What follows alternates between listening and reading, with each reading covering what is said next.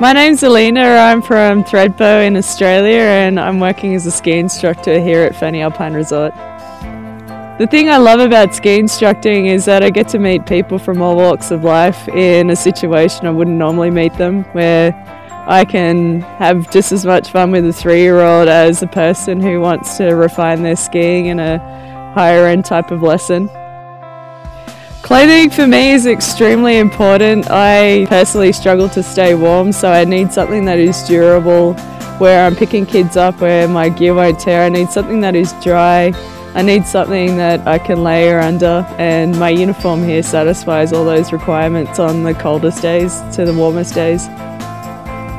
I find that Helly Hansen gear is very flattering for women, where the pants just fit, they're functional, I'm still able to move, where they're not too tight the jackets are just the right length where I feel like I can still layer but not feel bulky at the same time and still look feminine on the mountain.